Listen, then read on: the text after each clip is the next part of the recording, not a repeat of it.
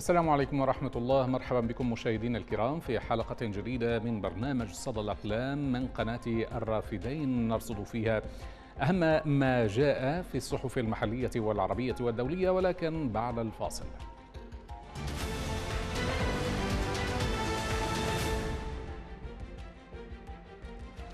البداية مع تقرير نشر في صحيفة المدى يستعرض التحديات الكبيرة التي تواجه المباني التراثية في بغداد حيث تعاني هذه المباني من عمليات هدم مستمرة وإعادة تأهيل غير مناسبة تهدد تراث المدينة العريق. المعماريون والخبراء ينتقدون الإجراءات التي تتخذها الإدارات المحلية ويحذرون من تحول بغداد إلى مدينة إسمنتية تفتقد إلى روحها التاريخية. إحسان فتحي متخصص في الحفاظ على التراث يناقش كيف أن عمليات التطوير والتحديث قد دمرت جزءا كبيرا من النسيج التاريخي للمدينة. ويوضح أنه لم يتبقى سوى 15% من المساحة التاريخية الأصلية لبغداد وأن الإهمال وانعدام الصيانة يهددان هذه البقايا. ويؤكد أستاذ الهندسة نحتاج إلى وقفة متأنية ونظرة عميقة وشاملة لفهم مقاصد التخطيط الحضري مثلما نحتاج إلى احترام الضوابط والقوانين التي تراعي حرمة تلك المآثر وقيمتها في ذلك المخطط. وبغير ذلك فإننا مقبلون على حال لن نستطيع معها الحفاظ على تلك المآثر كما لا يمكن لوجودها أن يضيف شيئا إيجابيا إلى مخطط مدننا العريقة إحسان فتحي وهو معماري ومخطط ومتخصص في الحفاظ على التراث. يرى أن المناطق التاريخية في بغداد وهي الرصافة والكرخ والكاظمية والأعظمية كانت بنسيجها العمراني المتراص والكثيف حتى العشرينيات من القرن الماضي. تشكل مساحة إجمالية قدرها نحو سبعة كيلومترات مربعة وتتكون من آلاف البيوت التقليدية ذات الأفنية الداخلية المفتوحة والبيوت المميزة المطلة مباشرة على نهر دجلة. ومئات من المساجد والأضرحة والأسواق والخانات والحمامات التاريخية المميزة بطرازها المعماري البغدادي. هوية المدينة التاريخية العظيمة التي كانت مركز العالم الإسلامي لنحو 500 عام بدأت تتعرض للتغيير والتدمير من خلال عمليات التطوير والتحديث العمراني التي تسارعت في المناطق التاريخية منذ ثلاثينيات القرن الماضي. وإلى صحيفة طريق الشعب ونقرأ منها تستمر الاحتجاجات الشعبية في العراق والتي تركز على مطالب متعلقة بتوفير الخدمات الأساسية. المتظاهرون ينتقدون الحكومة لعدم تحقيق وعدها بتحسين الخدمات ويطالبون بإيجاد حلول قبل إزالة المنازل المتجاوزة وبتوفير سندات الملكية للأراضي الموزعة. وفي البصرة يطالب موظفو وزارة العدل بحل قانوني لإصدار سندات الملكية للأراضي المخصصة لهم منذ عام 2016 تزامنا تواجه بعض المحافظات أزمة في توفير البنزين بسبب إضراب عمال نقل المشتقات النفطية وأعمال الصيانة في مصفى كربلاء مما تسبب في تشكل طوابير طويلة للحصول على الوقود. واصلت الاحتجاجات المطلبية في مناطق متفرقة من البلاد فيما تركزت مطالبها خلال الأيام الثلاثة الماضية حول توفير الخدمات والبدائل قبل إزالة المنازل المتجاوزة وإصدار سندات الطابو للقطع الموزعة على الموظفين وكف أيدي الجماعات المسلحة عن أراضي المواطنين. وحمل المتظاهرون لافتات تذكر حكومة السودان بالشعار الذي ألزمت به نفسها والمتمثل بحكومة الخدمات حيث قالوا إنهم لم يروا الخدمات منذ 25 عاماً وبعد مرور عامين على حكومة الخدمات لم يحصلوا سوى على الوعود من أمانة بغداد. بالرغم من اكتمال مخططات وتصاميم الأراضي ونظم موظفو وزارة العدل الدوائر العدلية في البصرة وقفة احتجاجية أمام الكباسي الصغير في قضاء شط العرب مطالبين الجهات المختصة بإيجاد حل لمشكلتهم المتمثلة بإصدار سندات الطابو لقطع الأراضي المخصصة لهم منذ عام 2016 وبشكل رسمي وقانوني وبموافقة بلدية شط العرب. ومنذ يومين فقط تشهد بعض المحافظات أزمة بنزين خانقة حيث تمتد طوابير السيارات لمسافات طويلة أملا في الحصول على الوقود بسبب إضراب العاملين في شركات نقل المشتقات النفطية من البصرة وحتى محافظات الوسط احتجاجا على الروتين الذي يعانونه في نقل الوقود وسوء تعامل السيطرات معهم بالإضافة إلى أعمال الصيانة الجارية في مصفى كربلاء. وإلى موقع وإلى موقع شفق نيوز حيث نقرأ منه مقالا حول فضيحة شبكة دعارة ضمن النظام التعليمي في محافظة واسط حيث تورط فيها موظفون رفيع المستوى في وزارة التربية. وقد أدت هذه الفضيحة إلى سحب وزير التربية إبراهيم النامس الجبوري اليد من المتهمين الذين يعملون في ملاك الوزارة. وشمل ذلك عدة مسؤولين من مستويات مختلفة في المنظومة التعليمية بما في ذلك المشرفة التربوية ومدير ومديرتا مدرستين. تم إحالتهم إلى التحقيق نتيجة لهذه الفضيحة التي أحدثت هزة قوية في المجتمع المحلي. هذه الحادثة تذكر بما حدث سابقا في جامعة البصرة حيث عوقب عميد كلية الحاسوب بالسجن لمدة 15 عاما بسبب ممارسات مشابهة. يبرز هذا تكرار للسلوكيات المشينة مشكلات عميقة داخل النظام التعليمي. تشمل الافتقار إلى الرقابة الفعالة والاختيار غير الملائم للقيادات التعليمية والتأثير السلبي للولاءات الحزبية والفرعية. تذكرنا فضيحة شبكة الدعارة في تربية محافظة واسط بما حدث في جامعة البصرة من رذيلة وتدني الأخلاق من عميد كلية الحاسوب الذي نال جزاءه بالسجن خمس عشرة سنة. وهذا ما طفى على السطح مما يجري من انتهاكات واعتداءات على الطالبات في الحرم الدراسي المقدس والتي تتنافى مع الأخلاق والتقاليد والأعراف المجتمعية والقانونية في استغلال بشع للمناصب نتيجة عدم العناية بالاختيارات التربوية والكفاءة والتمسك بإسنادها على أساس الولاءات الفرعية والحزبية والقرابة مما أفرز متفرعنين في مواقع المسؤولية وغياب الرقابة وتعطلها أمام هكذا خيارات غير مناسبة. هذا التكرار للأفعال الشائنة يشكل خطورة بالغة على استمرار الطالبات في إكمال تعليمهن ويولد العزوف عن التعلم وردود أفعال قاسية من الأهل على المتعلمات وفي المجتمع.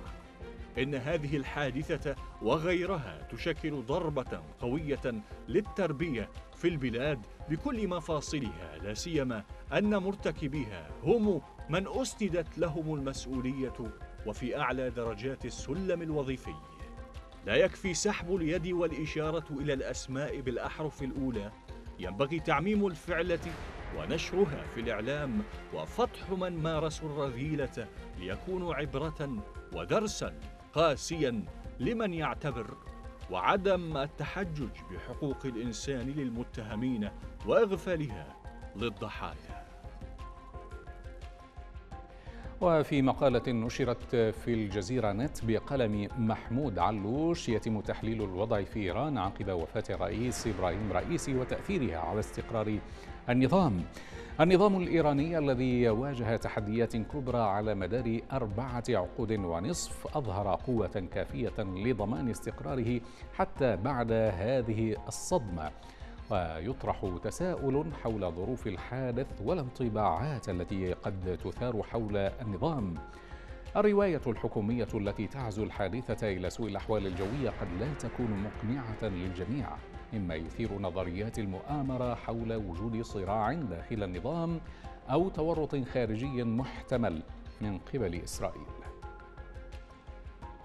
أن رئيسي لم يكن يحظى بكاريزما كبيرة على غرار أسلافه السابقين إلا أن رئاسته صممت لتحقيق هدفين رئيسين في السياسة الداخلية. أولهما استعادة قوات المحافظين وتحجيم التيار الإصلاحي. وثانيهما تهيئته لاحتمال خلافة المرشد في المستقبل. من غير المرجح أن يؤدي رحيل رئيسي إلى آثار على السياسة الداخلية في المستقبل المنظور أو إلى تحولات حتى في السياسة الخارجية لكنه قد يربك خطط النظام للمستقبل. حقيقة أن رئيسي كان من المرشحين البارزين المحتملين لتولي منصب المرشد إلى جانب منافس محتمل آخر هو مجتبى خامنئي نجل المرشد. تشير إلى أن رحيل رئيسي سيغير من ديناميكيات المنافسة على مستقبل النظام بعد المرشد الحالي. قد يبدو من المبكر الحديث عن مستقبل النظام لكن وفاة رئيسي أظهرت أن هذا الحديث لم يعد سابقا لأوانه لأن رحيله جلب بالفعل بعض المعضلات الكبيرة له. إن على مستوى إجراء انتخابات رئاسية لا تكون مصممة مسبقا لانتخاب مرشح بعينه وتقنع الإيرانيين بالتصويت فيها لتعزيز شرعية النظام أو على مستوى عملية تهيئة البلاد لما بعد المرشد الحالي. في نهاية المطاف فإن الهدف الرئيس للنظام في السياسة الداخلية أو الخارجية يتلخص في ضمان بقائه والحفاظ على قوة المحافظين وإرث خامنئي وإلى مقال لأحمد موفق زيدان بعنوان إدلب كيس ملاكمة. يتحدث عن الأوضاع في إدلب للأسبوع الثاني على التوالي. مشيرا إلى أهمية الشمال السوري المحرر بعد انشقاقه عن النظام السوري. يعرض المقال كيفية استقلالية المنطقة وقدرتها على الاعتماد على نفسها وعرض نفسها كنموذج حكم مختلف ومتميز مقارنة بالكيانات الأخرى في سوريا. يناقش الكاتب أيضا التحديات التي تواجه هيئة تحرير الشام في الحكم وكيف أنها تبقى الأبرز رغم المؤاخذات والملاحظات.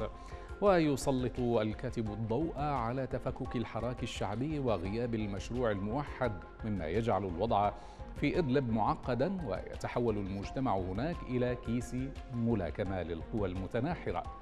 ينتهي المقال بدعوة النخب والعلماء للتدخل وتقديم رؤية مستقبلية واضحة لمنطقة إدلب على الرغم من كل الملاحظات والمؤاخذات على حوكمة هيئة تحرير الشام إلا أنها تبقى الأبرز مقارنة بالنماذج الثلاثة الأخرى وبالإمكان البناء عليها مع تفهم جوهر الحراك الشعبي في الشمال السوري المحرر بعد خلية العملاء وتكشف مدى التعذيب الذي كانت تقيمه دائرة من دوائر جهاز الأمن العام التابع للهيئة بحق المعتقلين. ولكن الخطوات الإصلاحية التي اعتمدتها الهيئة وعلى رأسها ضم جهاز الأمن العام إلى وزارة الداخلية وسحب خمسة ملفات منه لصالح الوزارة. لا رابط بين هذه القوى المحركة للحراك سوى الاتفاق على ما لا يريدونه وهو الجولاني أما عن المشروع المقبل فهذا غير موجود في حسابها. افتقار الحراك إلى الشخصيات الرمزية المعروفة المتناغمة بالإضافة إلى غياب المشروع الموحد له وغياب التحضير لليوم التالي بعد سقوط الهيئة. كل هذا من المخاوف المرعبة التي يخشاها سكان الشمال السوري المحرر. فالحراك لم يعد أحد يعرف هويته فضلا عن فصائل لديها ثارات مع جبهة النصرة قبل أن تتحول إلى هيئة تحرير الشام فوجدت الفرصة سانحة لها اليوم من أجل تصفية حساباتها على مذبح خمسة ملايين سوري يعيشون في إدلب.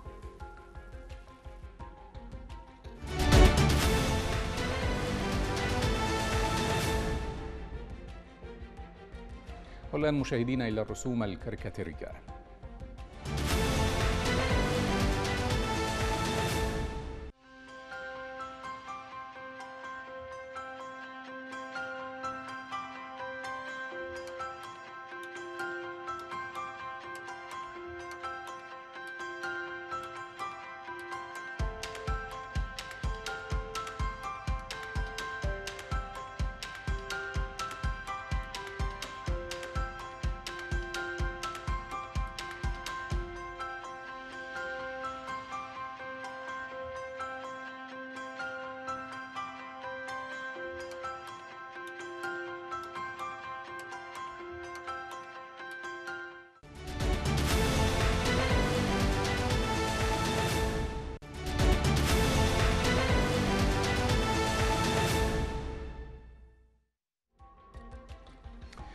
أصبح تناول الحليب الخام غير المبستر أحدث صراع ويشعر الخبراء بالقلق من أنه قد يؤدي إلى انتشار إنفلونزا الطيور تحظى مقاطع الفيديو التي تروج للحليب غير المبستر بملايين المشاهدات.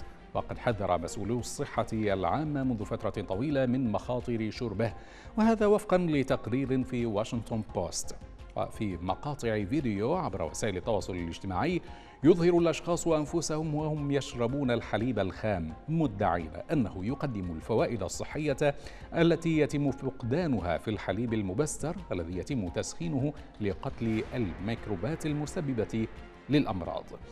ويقول مزارعو الألبان الذين يبيعون الحليب الخام إن الطلب آخذ في الارتفاع لكن مسؤولي الصحة العامة في الولايات المتحدة حذروا منذ فترة طويلة من مخاطر شرب الحليب الخام خاصة الآن حيث تصيب إنفلونزا الطيور شديدة العدوى أبقار الألبان في جميع أنحاء البلاد. قال ريتشارد ويبي عالم الفيروسات في مستشفى سان جود أو سانت جود لأبحاث الأطفال ولم يكن من بين الباحثين في الدراسة إن العلماء لا يستطيعون القول بأي ثقة حقيقية أن شرب الحليب الخام الملوث بالإنفلونزا سيصيب الناس. أقل ويبي أن الأبقار المصابة بشدة بإنفلونزا الطيور تحتوي على كميات عالية من الفيروس في حليبها.